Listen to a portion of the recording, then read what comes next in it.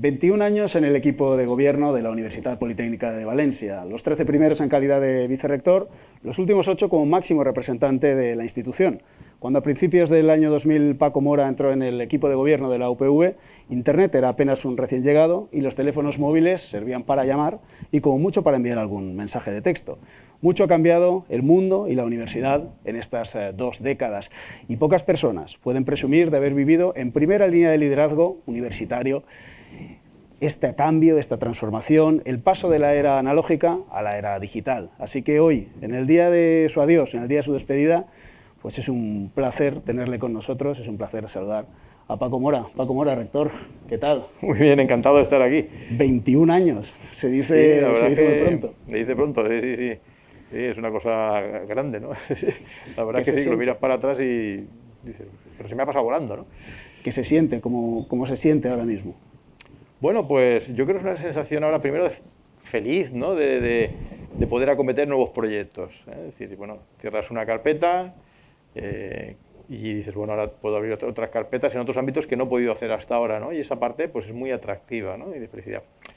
Y luego, pues también un poco de decir, ostras, de, cierta nostalgia, ¿no? De, te, empiezas a recordar eh, muchas cosas, ¿no? Muchas personas, sobre todo de personas, ¿no? Que, que, que has conocido, gente muy con la cual has tenido una relación muy, has trabajado muy estrechamente y dices, bueno, ya no voy a tener esa, esa frecuencia de, trabajo con, con, ellos o no lo voy a ver igual y tienes, pues, bueno, te vienen muchos momentos, ¿eh? normalmente el cerebro como es muy inteligente, se queda siempre con los momentos buenos, los malos los quita, eso antropológicamente para, estamos muy bien diseñados.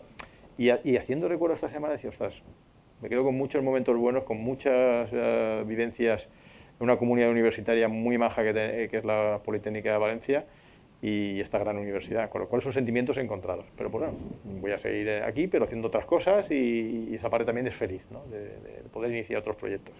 Recuerda, hablando de recuerdos, ¿recuerda el primer día que pisó la, Politécnica de Valencia?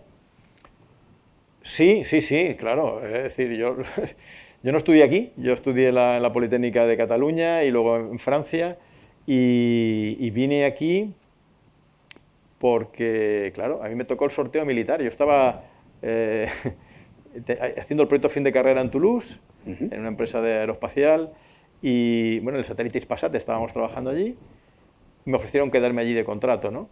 Y dije, bueno, tengo que quitarme el servicio militar. Esto la gente más joven que lo vea no sabrá ni lo que es, ¿no?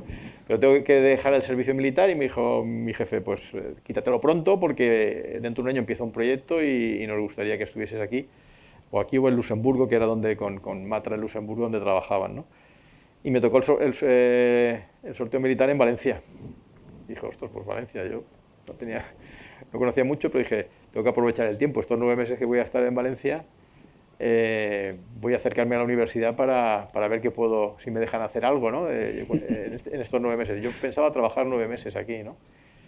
Y mira tú, ¿no? me, he quedado porque conocí gente, gente fantástica, compañeros del departamento que estudiaba de Ingeniería Electrónica, que me contaron bueno, lo que estaban haciendo. Eh, tuve la suerte de caer en, con un buen grupo y me ofrecieron la posibilidad de hacer la tesis ya en Ginebra, en el CER, y me fui luego de doctoral student allí cuatro años. Y, ya digo, tuve mucha fortuna, ¿no? porque entré a la universidad y coincidí con un grupo muy bueno de personas en mi departamento que, que, me ayudaron mucho también ese año porque yo tenía que hacer el servicio militar y cuando tenía alguna clase por la mañana ellos me sustituían, me reemplazaban, yo daba las de la tarde y bueno, pues recuerdo ese primer día, claro, de entrar aquí a una universidad que, una universidad que yo no conocía y que mm, me sorprendió ¿no? Eh, el, la preocupación de, por, por, por, la buena docencia ¿no? que ya tenían aquellos en la escuela de Teleco, que arrancaba nueva. Eh, fue el año, yo entré el año que Teleco, el edificio, se inaugura. Me acuerdo que el despacho que entré era nuevo y dije, ostras, qué suerte, esto, esta universidad es uno... Eh, había visto otras ¿no? donde estaba y digo, oye, esto es un, lujo, ¿no? Luego, claro, me di cuenta que el edificio era nuevo, que se inauguraba ese año eh, y fue un privilegio arrancar esa escuela donde al ser nueva, de mucha ilusión de las personas que componen Teleco, y para mí fue muy atractivo quedarme, ¿no? Ya cuando terminé el servicio militar, pues eh, viendo el proyecto que, había aquí de, escuela y de, trabajo, eh, de investigación y de tesis, pues bueno, eh, dije a mis compañeros de Toulouse que, que, me venía de momento aquí y bueno, me he quedado. De, momento iban a ser nueve meses. Eh, ¿Cuántos años han sido, Paco? Yo entré en el 91, en verano del 91. 30 años en, la universidad. ¿Cómo era aquella universidad eh, a, la que, a la que llegas al principio? Bueno, era una universidad donde se veía una, una, una vocación y una ambición sana de, de crecer, ¿no? De crecer, había que crecer, ¿no? Y, veías, mm, al menos lo que yo conocí en Teleco en aquellos principios, mucha... El reto de la escuela en aquellos años era ser la mejor escuela de Teleco de España, que por cierto lo han conseguido. Es decir, hay que felicitar a mis compañeros porque el ranking de Shanghái de, esta semana, justo, sí. sí, esta semana ha salido, ha puesto que Teleco es la mejor escuela de Teleco para estudiar telecomunicaciones aquí en, España, ¿no? Y esa ambición en los años 90, ¿no? De, decir, hay que hacer una gran escuela, nos juntamos personas, al no haber estudios de Teleco aquí, pues muchos veníamos de Madrid, Barcelona, que habíamos estudiado fuera, nuevos, y un ambiente muy dinámico de de conseguir recursos de fuera mediante proyectos con instituciones, con empresas, porque los recursos internos eran, eran pequeños ¿no? para, para montar los laboratorios que queríamos, pero decíamos, vamos a ser los mejores, y eso, eso me, me, gustó mucho. ¿Y, en qué momento Paco Mora decide, voy a integrarme en, en el equipo de gobierno de la universidad? ¿En, qué momento, en qué momento decide después, eh, voy a intentar ser eh, rector? qué momento pasa este, se da este paso? Bueno, ahí es que no lo decides tú, ahí, eh, lo, deciden otros, en ambos casos. ¿eh? Es decir, hombre, tú tienes que estar dispuesto, puedes decir no. Es decir, yo creo que el que todas las personas que estamos en un cargo académico es voluntario y no podemos quejarnos porque nadie nos obliga a estar ahí. Si si no, si no nos gusta lo que hacemos o no somos felices con lo que hacemos, lo mejor es irte, y, porque es voluntario. Y a mí en el año 99, yo estaba de subdirector en la escuela de Teleco, ¿eh? en el año 98, y entonces Juan Julia, que estaba vicerrector de investigación, me propone, perdón, de investigación o de estudios, Juan Julia me propone eh, ir al área de programas internacionales y empiezo como director de área de programas internacionales. Yo estaba, llevaba internacional en Teleco y para toda la universidad. Y ahí estaba, estaba, tenía como compañero a Juan Miguel, que entonces él también cambió, dejó ese puesto para llevar a la biblioteca, y ahí fue mi contacto con el equipo de gobierno de entonces. Claro, llegué y al poco hubo elecciones, al año así, y, y el rector Justo Nieto me propuso incorporarme en su equipo de vicerrector para llevar el intercambio académico, ¿eh? las relaciones también académicas internacionales. Y eh, me pareció interesante y, y ahí fue, ¿no? Y así ser vicerrector que te, tienen que proponer que tú quieras. ¿no? Y para ser rector, pues al final lo que tienes que ver es que tus compañeros te apoyan. ¿no? Yo noté un apoyo muy grande, porque para ser rector no basta que tú quieras, sino que tienen que querer los demás. Y en este caso no una persona, porque el vicerrector te elige eh, el rector, ¿no? pero para ser rector te tienen que elegir tus compañeras y compañeros de la comunidad universitaria. Eso es. Entonces yo noté un apoyo muy grande en el, en el el año 2013, cuando me presenté por primera vez.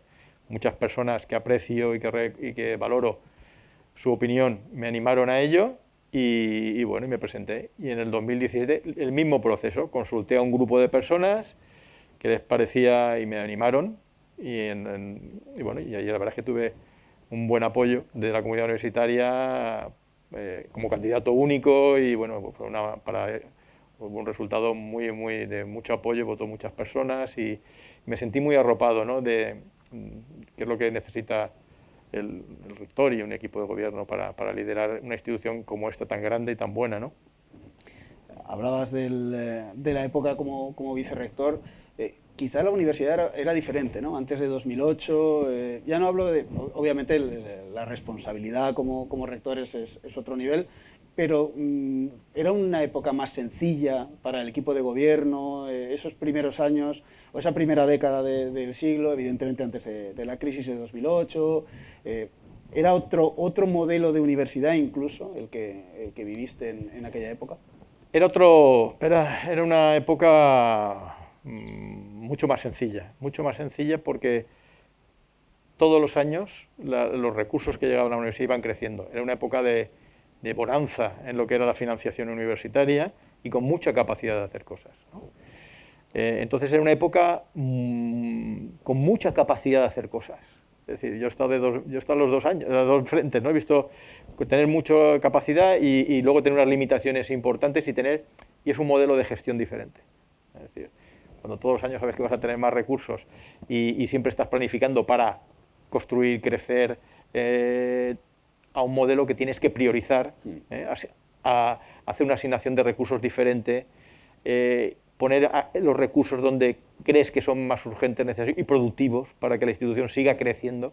tienes que, en aquella época era mucho más fácil, era una época muy fácil, muy bonita, porque no se, eh, bueno, no había dificultad, sinceramente, era una época que decías, bueno, pues este año tengo esto, esto más, pues vamos a hacer más cosas, y cada año era un programa nuevo, y luego llega la, segunda época, la gran recesión, y a partir del 2011, que es cuando llega la, dureza a la, parte pública, 2012, entramos en una época que los presupuestos van menguando, el gran hachazo vino en el, a partir del 13, 13, 14, 15, y aquellos tres años primeros tenías una sensación de que no tocábamos suelo, de caída libre, ¿no? es decir, el presupuesto eh, se iba recortando casi a, mitad de año, mira, no vais a poder tener estas transferencias, se generó una deuda con la universidad muy grande, eh, hubo que priorizar mucho, y, pero afortunadamente yo te digo, también te reconocer que me encontré una comunidad universitaria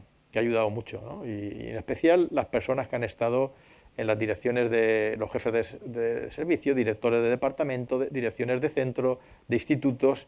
Estas personas me han ayudado muchísimo porque planteábamos los escenarios, las acciones a tomar y, decían que sí.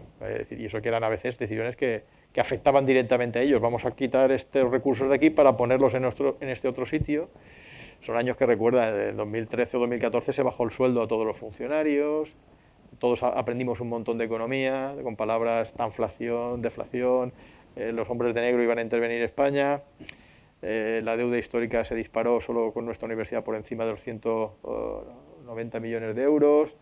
Eh, muy difícil. Yo ayer me despedía, me despedía, bueno, me despedía el jueves pasado en el Consejo de Gobierno y decía pues que aquellos años fueron para la institución complicados, pero salimos reforzados. Y lo, y, lo, creo de corazón, salimos muy reforzados y lo veo con el sistema universitario. Yo creo que eh, el ser vicepresidente de la conferencia de rectores me, da una visión muy buena del sistema universitario español y ayer te transmitía que yo he visto que el sistema universitario se ha, se ha diversificado mucho entre universidades que actuaron, priorizaron y, reasignaron recursos a otras universidades que optaron un modelo más plano, de decir, bueno, no hay, pues no hacemos, se recorta a todos por igual. Aquí no hicimos eso. ¿eh? Eh, y, nos salió bien. Y también lo veo, pues bueno, como representante en Europa de todo el sistema universitario, veo, he visto, me ha permitido ver esta, lo que se ha hecho aquí y, ha sido un muy buen trabajo. ¿no? Eh, yo he tenido, ya te digo, vicerrectoras y vicerrectores fantásticos, gerentes, es decir, un equipo, pero debajo, los equipos directivos mm, han estado a la altura y nos ha permitido que salvando el personal, eh, salvar los recursos en docencia e investigación y, recortar en muchas otras cosas y priorizar ahí.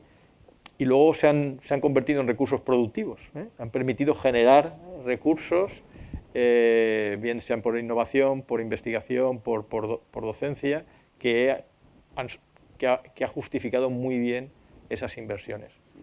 Luego volveremos un poco sobre los momentos más, más difíciles ¿no? de, de, los mandatos, pero eh, venimos ahora de, unas elecciones con, con tres candidatos, eh, las dos elecciones que, bueno, pues en las que eh, saliste elegido como, como, rector eran elecciones con candidatura única.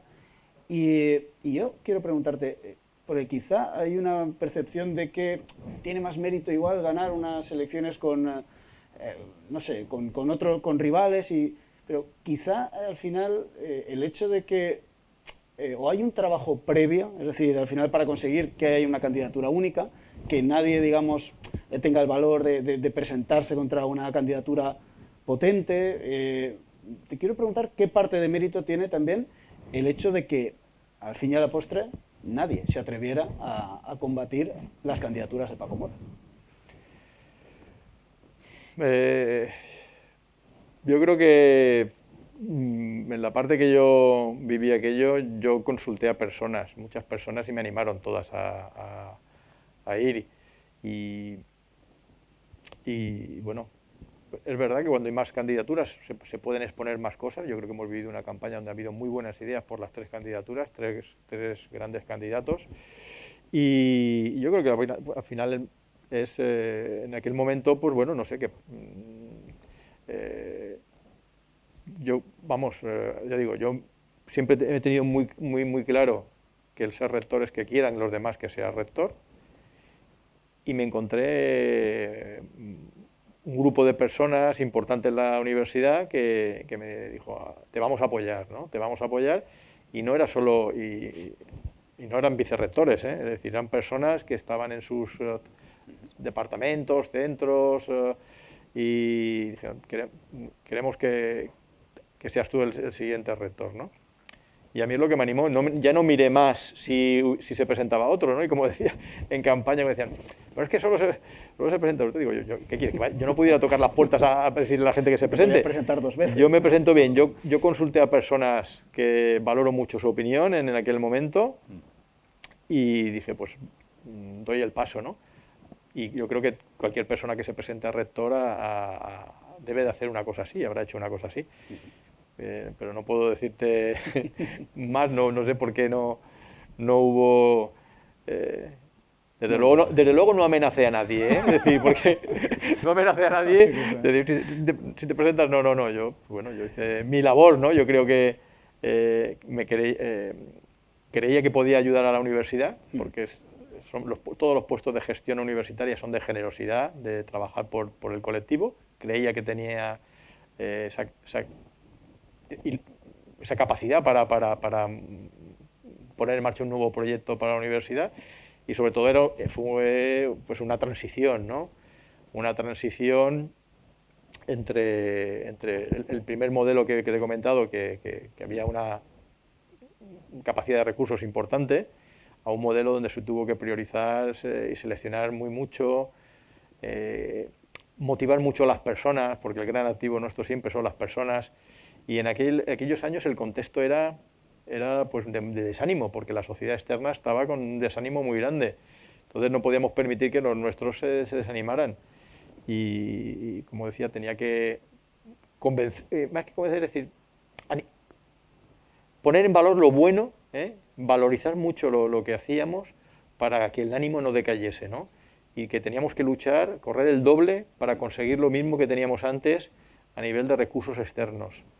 Y, gracias a que esta universidad tiene personas así, gracias, porque el rector puede decirlo, pero si no hay luego un, una, un grupo de líderes internos que lo hace, y yo tuve la fortuna, y esta universidad tiene la fortuna de que tiene mucha gente muy dinámica, que no se está quieta y que pones un programa en marcha y te levantan la mano 50 porque quieren eh, hacer el prototipo, desarrollar ese programa, ponerlo y tenemos ejemplos fantásticos ¿no? de las competencias transversales, lo de la docencia NDX, que eso empezamos en el 14, ¿eh?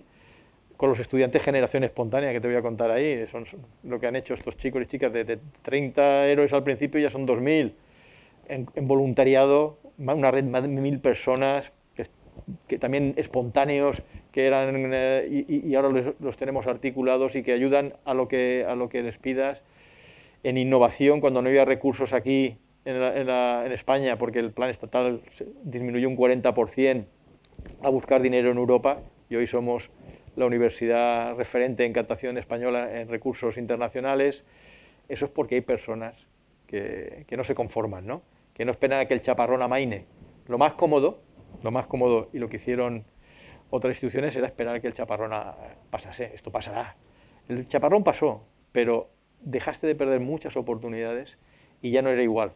No, no, no había una inyección de recursos en V, ¿no? Sino tocamos suelo y nos quedamos en el suelo. Y solo aquellos que buscaron, que, no se conformaron, han evolucionado y esta universidad no se ha conformado, ha evolucionado y es una universidad excelente. Yo creo que no que lo diga el rector, sino que yo siempre digo, mira, está, reconocido. Está reconocido, mira cualquier ranking, evaluación, el otro día nos invitaron, me invitaron a Madrid, el diario, un diario nacional que, presentaba las universidades excelentes y, era, y, era, una de las tres excelentes de estudio de caso que tuve que explicar, era la Politécnica de Valencia. Y yo no decir un poco esto, que tenemos gente muy buena. Cuando tiene gente muy buena es más fácil todo.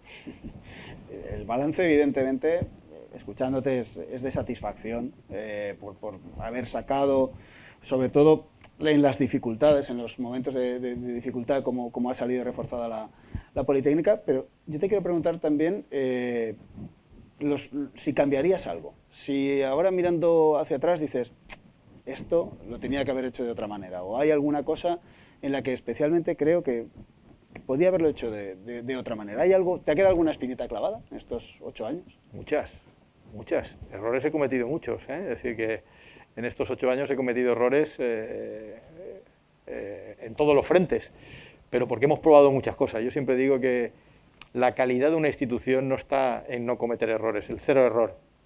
Para mí eso significa que no, has arriesgado, no te has movido. Si tú no te caes de la bicicleta es que no intentas nada nuevo. Es decir, cuando intentas hacer cosas nuevas te, caes y, errores han habido en, esto, en estos ocho, años unos cuantos, ¿eh?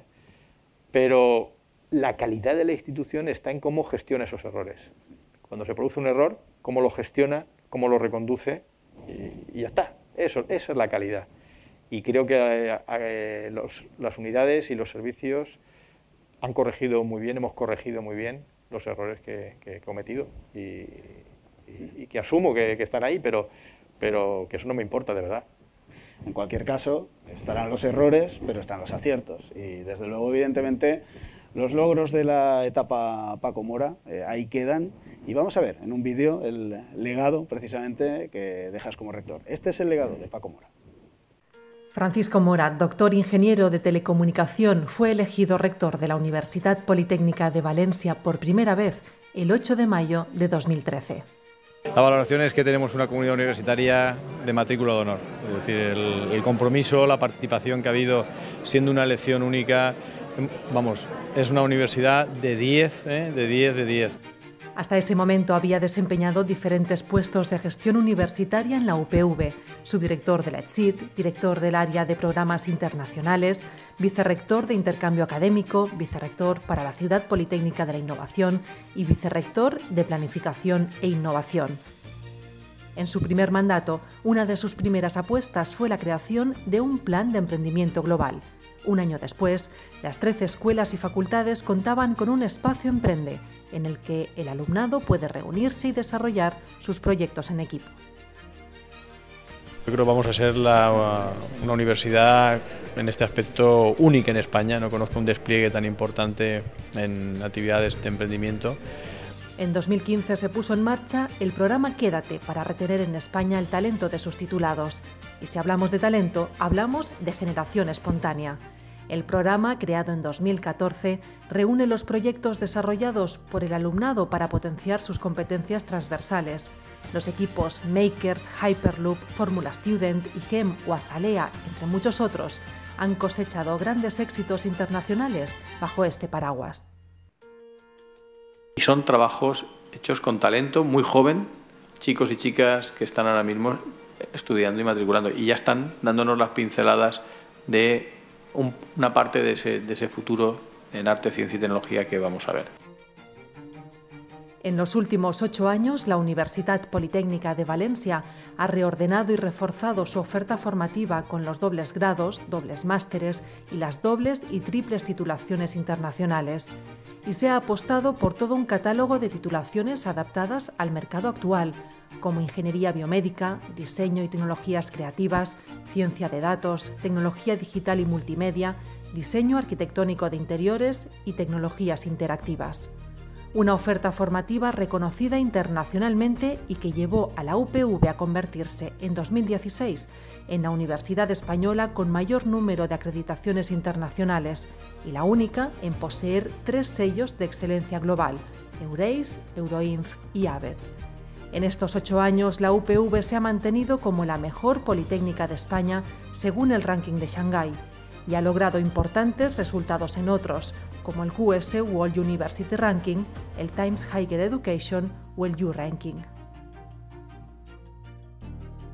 Lo importante es la tendencia, más que la, posición, aunque este año tenemos una posición destacada, eh, pero es una tendencia de que año a año esta universidad tiene un compromiso con la mejora y, su, buena evolución.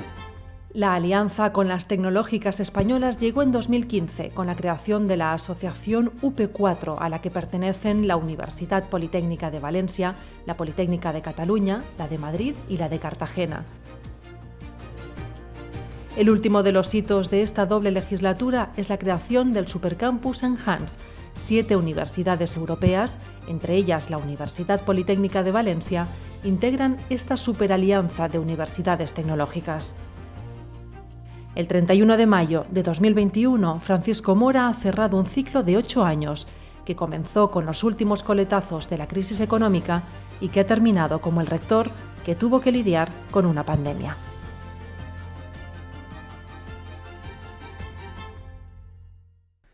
Bueno, pues son eh, muchos logros, evidentemente, muchas cosas de las que evidentemente entiendo que debes sentirte muy, muy orgulloso. Eh, pero bueno, hablaba Meritxell ahora del, tema de la pandemia y te escuchaba el otro día en la entrevista que le concedías a los compañeros de, UPV Radio, hablar de que no ha sido tu momento más, eh, más difícil, con todas las dificultades que ha, habido, porque hubo un momento en el que corrió serio peligro el hecho de que la comunidad universitaria, los, bueno, los trabajadores de la Politécnica cobraran su nómina.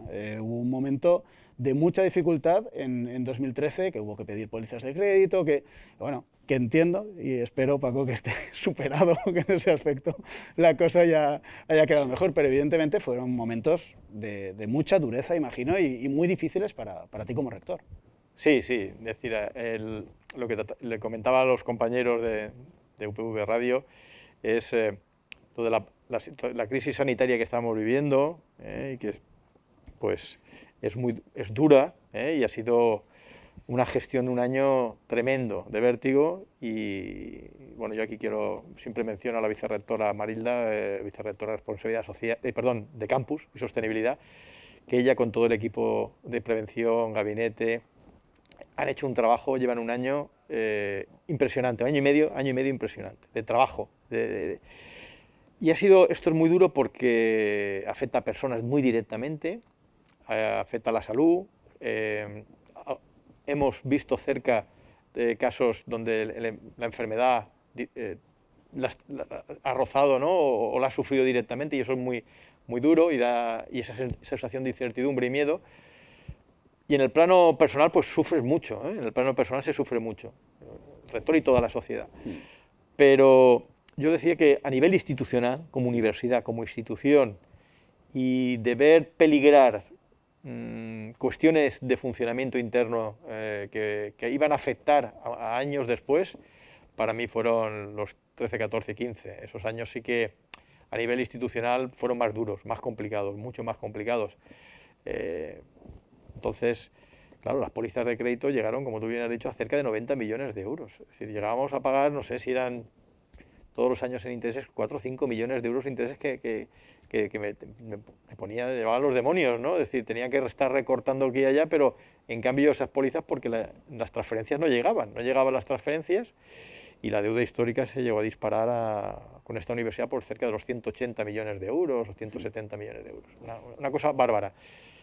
Y ahora ya no es así en ese aspecto, ¿no? Es decir, el otro día lo comentaba en el Consejo de Gobierno, digo, cerramos con un remanente importante de 15 millones de euros, más 6 que quedan también guardados por, por el tema de, la productividad variable, que está pendiente de ver si se, cuando, cuando se puede actualizar. Entonces, queda ahí un remanente y una situación de tesorería muy bien, ¿no? Eh, como decía, esto también pues la, la, Generalitat está, está cumpliendo los pagos de esta deuda histórica que quedan hasta 2023 a, esta institución. Aún le quedan dos años de, pendientes de cobrar. En ese sentido, eh, ¿han estado a la altura? Las instituciones. Eh, es decir, mm, ahora eh, quizás está corrigiendo lo que en un momento fue el no estar a la altura, el, generar que, que, la universidad no recibiera los pagos, tuviera los, los problemas que tuvo Eh, ¿Estuvieron a la altura o han estado a la altura en estos años las instituciones públicas? La universidad, la relación con la, con la Generalitat Valenciana siempre ha sido fluida, ¿eh? es decir, siempre ha sido fluida. Todo, todo tiene su contexto, ¿no? Es decir, hay que ver pues aquellos años, eh, el Canal Nou se cierra, se, es decir, entramos en una crisis, en una crisis mm, muy grande, ¿no? El disparo del, paro, los impagos, era, bueno, había mil cosas ahí que, era un cóctel molotov en aquel momento y yo creo que se vieron desbordados las, autoridades en ese momento y, se les cerraron el grifo por todos los sitios y, a la universidad la restringieron, cosa que me duele, porque yo creo que se, fue en exceso ¿no? la, la restricción al sistema universitario y es verdad que teníamos que hacer un sacrificio todos, ¿no? toda la sociedad, para resolver aquello. Pero otros países no lo hicieron así. ¿eh? Otros países hay cosas que, que, no se tocan. Yo siempre digo, en una familia, eh, la educación del, de la niña y las pastillas del abuelo no se tocan nunca. Sanidad y educación, eso no se debe tocar. Eh, tú te ahorras de todo, no sales, no tal, pero esas cosas no se tocan. Y aquí no se priorizó. Creo que no hizo mi crítica al gobierno de entonces eh, fue que no, no, priorizó adecuadamente. Luego hubo cambio en la Generalitat. Yo quiero, bueno, en la, parte final, el último año, sí que las pólizas de crédito se hizo una operación importante que, en aquel momento fue el conseller Moragues, que absorbió los casi 90 millones de euros de crédito de esta universidad que estábamos pagando, se transfirieron directamente a Generalitat.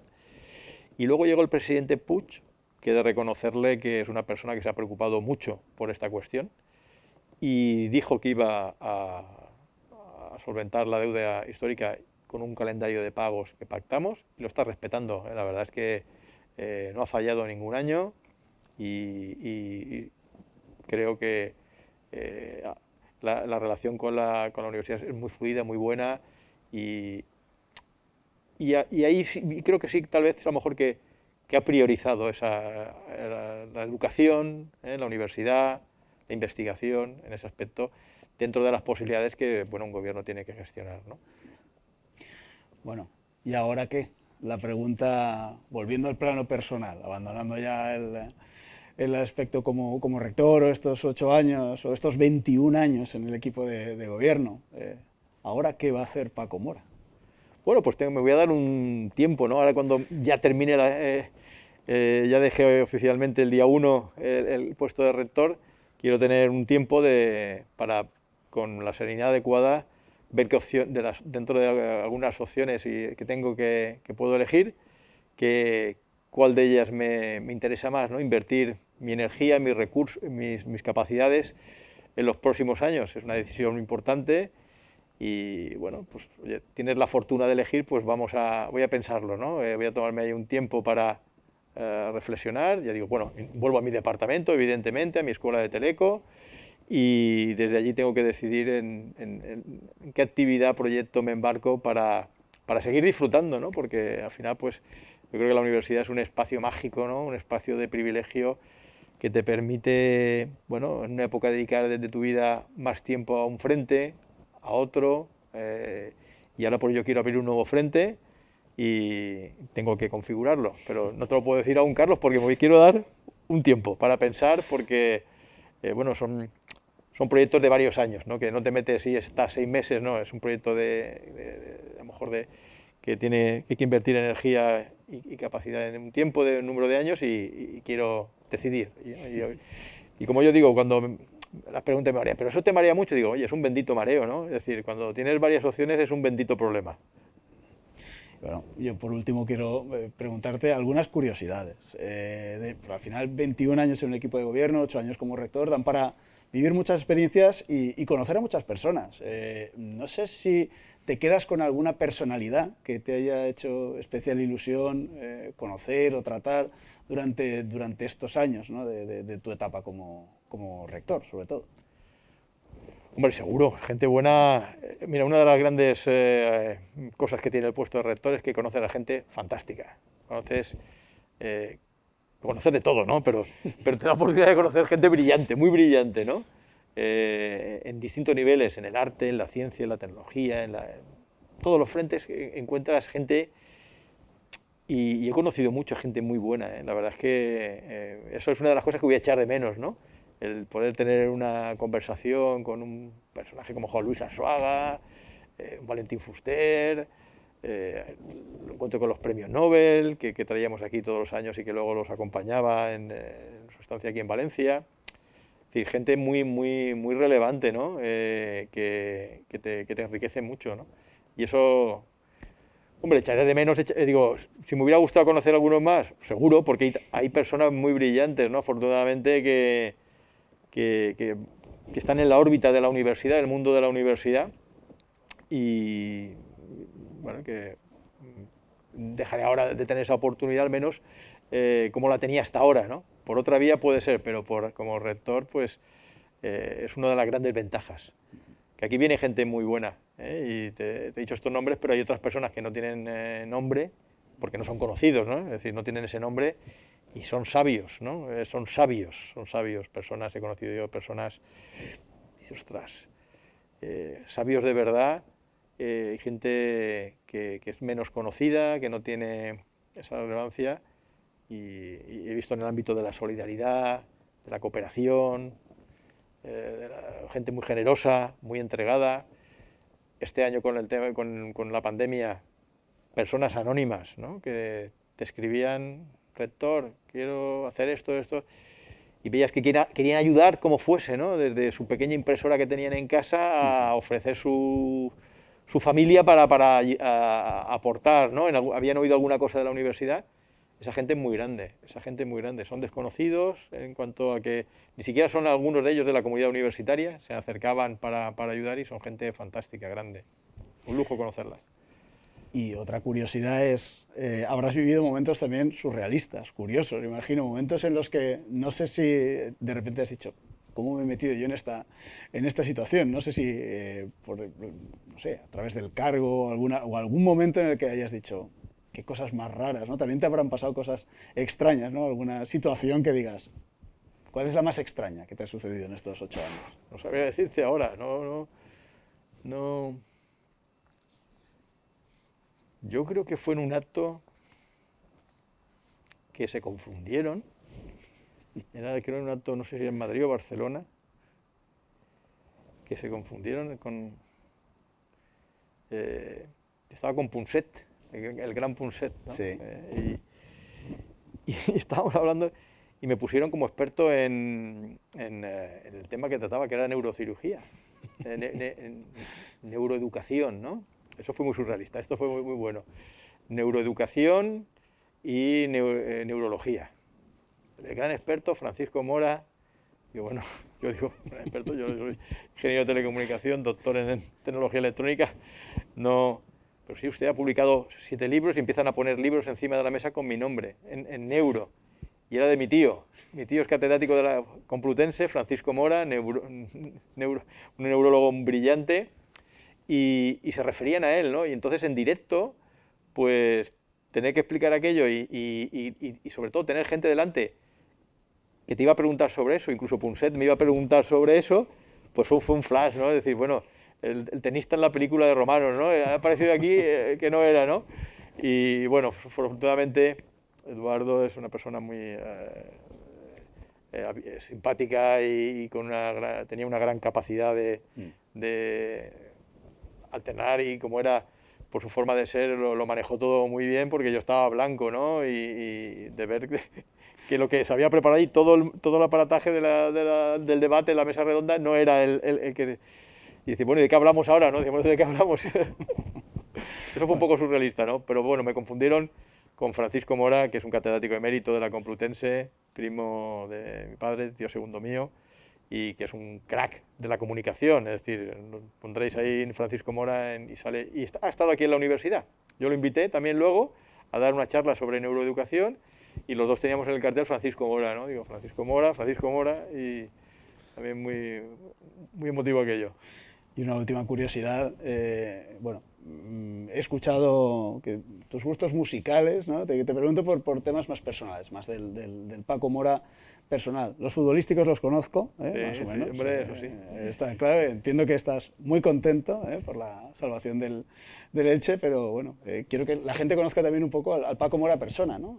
los gustos personales a nivel musical, a nivel futbolístico o otros, otros hobbies que, que tenga el Paco Mora persona, ¿no? ya que hemos conocido durante tanto tiempo al Paco Mora como representante, o máximo representante de la institución, musicalmente. Bueno, pues un variado, es decir, no es que tenga un estilo único. La verdad es que mis hijas me dicen que me he quedado anclado en el, pasado, ¿no? Porque los grupos de ahora no conozco ninguno, es de reconocer que no, no soy un melómano, ¿no? Que no, sigo la actualidad, yo sigo anclado en mis grupos de los años 90, eh, 80. Me gusta mucho el último de la fila, eh, Dire Straits, Mecano, Eric Clapton. Eh, pues, eh, Supertramp, me encanta. Eh, y luego música clásica, música clásica sí que escucho mucho. Haydn, me gusta mucho, por supuesto, Bach, ¿no? Y los grandes. Eh, Händel, vamos, escucho mucho o clásica o música, como dicen mis hijas, clásica de... clásica moderna. Clásica pop, efectivamente. Pero bueno, Joaquín Sabina, ¿no? Es decir, españoles así. Y a nivel de deporte, sobre todo fútbol. Bueno, fútbol de hecho eh, practicabas. ¿Te gustaba jugar al fútbol? Jugué hasta, hasta que nació mi tercera hija. Hasta, tiene ahora seis años, pues hasta, tengo ahora 53, hasta los 47 años. He jugado fútbol todos los años, todas las semanas prácticamente. Todas las semanas no, porque hay parones y, sobre todo al final porque tenía muchas lesiones, me lesionaba yo solo. Pero hasta los 47 años he estado jugando al fútbol y cerré esa carpeta que me dolió mucho, pero es que ya con, de rector, tres hijas, eh, una pequeñita, yo no podía llegar a casa a las nueve y media y tenía que coger la bolsa de deporte y decirle a Esther, mi mujer, que se ha sacrificado muchísimo por mí, decirle, me voy a jugar hasta las 12 de la noche, ¿no? que, porque jugábamos de 10 a 12 ¿no? Eh, por la noche, fútbol, fútbol 8. Y luego aquí internamente muchas ligas, competiciones. ¿Cómo eh. era el Paco Mora, futbolista? Eh, a mí me hubiera gustado ser futbolista de pequeño, ¿eh? Yo ya te digo que me dicen, ¿tú qué querías ser ya investigador, profesor? No, yo quería ser futbolista. Para que no tenía cualidades, no, no, no, era tan bueno, ¿no? Jugué hasta juveniles en el Elche, hasta que me fui a estudiar a Barcelona.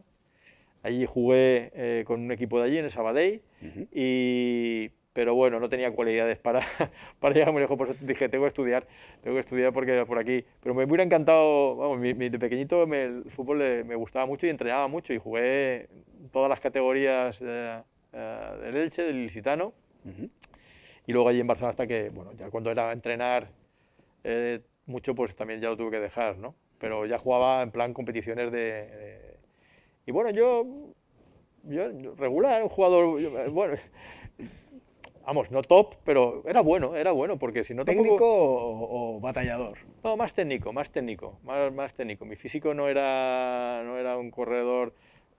Yo luchaba, ¿eh? es decir, los que han jugado conmigo saben que me dejo la piel en el campo, pero más técnico, más, más técnico. Me jugaba solía jugar de interior, ¿eh? y la, la última fase ya de más mayor ya de atrás, en torno a central, lateral, ¿eh? porque ya no tenía fuerza para, para, regatear a nadie, ¿no? es que ya no, me, no, podía irme de nadie. Entonces reculé, pero hasta los 42, 43 años sí que estuve jugando de delantero interior. ¿eh? ¿Te expulsaron alguna vez?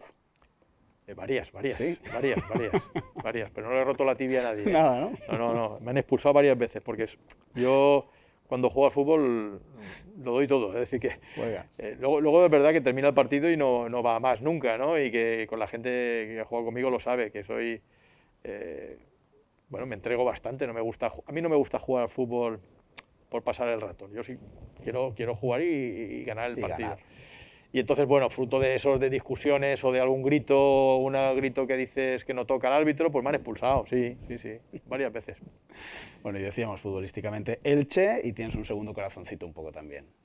Si tú lo sabes, si tú lo sabes, tú lo puedes decir al Real Madrid, sí, sí, sí, O sea, que te has quedado un poco este final de temporada contento por el Elche y, un poquito menos contento con el final sí, pero el Madrid mal. Y muy de Zidane muy de Zidane. Es, uno de mis ídolos futbolísticos, Zidane. Y ahora que se ha ido me ha dado un disgusto muy grande. Es decir, que estoy contento por el Elche porque sufrí mucho y ahí, menos mal que el Valencia aguantó con el Huesca y, nos echó un capote importantísimo. Y, pero con el Madrid muy mal este año, muy mal, ¿qué quieres que te diga? Tenemos que hacer un cambio importante, ahí sí que hace falta un cambio importante. Bueno, ya para cerrar, eh, dime qué, qué, cuál es el mejor recuerdo que te, que te, queda de estos 21 años en el equipo rectoral de estos 8 años como, como rector. Si tienes que elegir un, un recuerdo, eso que ahora miras hacia atrás y dices, qué bonito haber vivido esto, ¿cuál sería? Ahí hay una panoplia de recuerdos, ¿no? De, de, pero hay algunos muy emotivos con los estudiantes. Es decir, con los estudiantes, eh, sobre todo con, cuando estos estudiantes de generación espontánea eh, te cuentan, te agradecen eh, a la universidad, agradecen a la universidad lo que les ha cambiado a ellos la concepción de, lo que son capaces o no son capaces de hacer, sus posibilidades, el espíritu de superación, y, te lo cuentan y dices, ostras, estos chicos y chicas, eh, este programa les ha, les ha impactado y, les, y, ellos van a ser líderes mañana, porque ves que van a ser líderes de mañana. dices, este chico, esta chica, pasado mañana va a ser una referencia externa ¿no? en la sociedad, donde esté va, va a hacerlo muy bien. Eso me impacta mucho. Y, en otro frente, con estudiantes también, cuando te cuentan lo que hacen en cooperación, en aprendizaje por servicio. Cooperación que puede ser local, lo que hacen aquí con familias muy desfavorecidas, como yo digo, desde el, joven que va a ayudar a otro niño o niña a, darle una clase particular, ahora para, porque no tienen sus padres recursos para explicarle lo que están dando y para que no abandone, o aquel que se va a Nicaragua ayudar a, una misión desfavorecida. Eso, esas dos frentes yo creo que son los que... Eh, y son dimensiones distintas, porque uno es...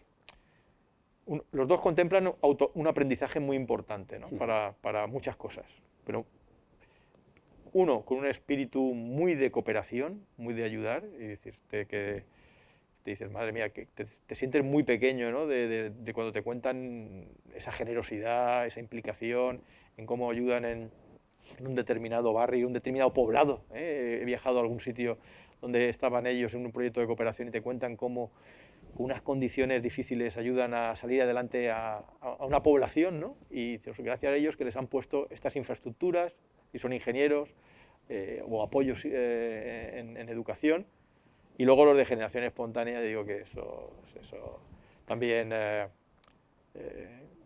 percibes, ¿no? percibes cuando te hablan, dicen, ostras, esto, es bueno, esto, esto es un, ayuda, ayuda a, emerger liderazgos y personas de impacto, ¿no?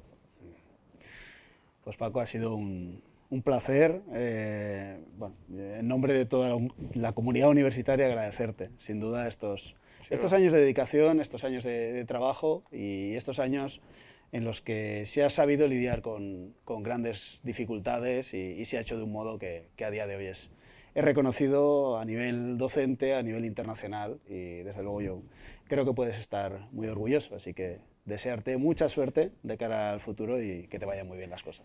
Pues muchas gracias, Carlos. Ha sido, ya digo, un honor. Para mí ha sido un honor y, y estoy muy orgulloso de la comunidad universitaria que tenemos, que es la que ha hecho todo esto y yo he sido un espectador de lujo, ¿no? de verlo desde arriba, todo, todo lo que ibais haciendo cada uno de vosotros y vosotras, y ha sido un honor, un honor estar al frente de, de, de esta casa.